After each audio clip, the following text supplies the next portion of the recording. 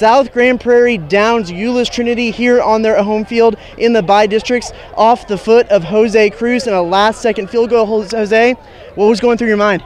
I mean, I was just trying to get the ball out before uh, the line, uh, you know, try to block it, but I was just focused on making it through. Uh-huh. Did you did you feel like leading up in that drive that it was going to come down to you at the end? Yes, I saw two minutes left after Trinity scored. You know, tough team, tied, and I saw it, and I felt like it was my chance to shine. You know. Uh-huh. With how this game was going back and forth, really defensive struggle, low scoring. I mean, was the whole game leading up to you think to something like a field goal yes, might be the difference? I felt it. Uh, before the game, I felt like, you know, God gave me the opportunity to show what I have, and He gave me the opportunity, so I made the made most of it.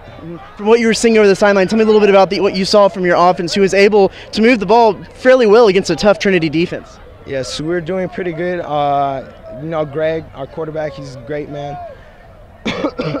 Sorry, and you know he's just making our offense good. Uh, what is it? Driving through and to the Trinity defense, and you know, set me up for a field goal. Mm, and how does it feel to beat Trinity on their home Honestly, field? Honestly, it still hasn't sunk in, man. I'm still surprised for myself. You know, great snapper Ryan, holder Darius, and I just finished it up.